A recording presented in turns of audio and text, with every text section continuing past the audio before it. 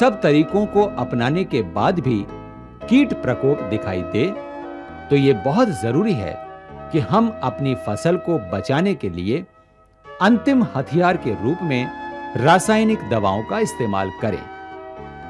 लेकिन कीटनाशकों का चयन करने से पूर्व यह देखना ज़रूरी है कि किस प्रकार के कीटों का प्रकोप हमारी फ़सल पर है।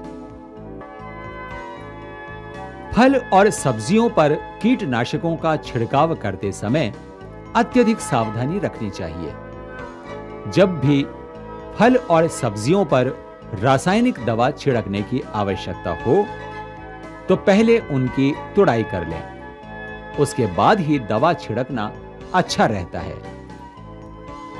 दवा का छिड़काव सुबह या शाम के समय करें, जिससे मित्र कीट जैसे मधुमक्खी, लेडी बर्ड बीटल, जो दिन के समय फ़सल पर रहते हैं, वे नष्ट नहीं होने पाए। दवा छिड़कने के बाद फ़सल में जहर कम होने की प्रतीक्षा करें।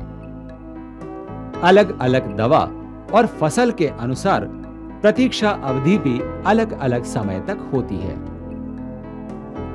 भिंडी की फ़सल में मेलाथियन 50 ईसी का इस्तेमाल करने पर एक दिन, क्यूनोल फॉस 25 ईसी का इस्तेमाल करने पर छह दिन की प्रतीक्षा अवधि रखें।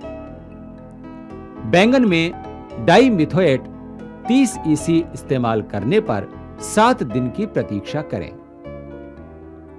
टमाटर की फ़सल पर डाई मिथोएट 30 ईसी इस्तेमाल करने पर सात दिन और मेलाथियन 50 ईसी का प्रयोग करने पर तीन दिन के बाद तुड़ाई करें।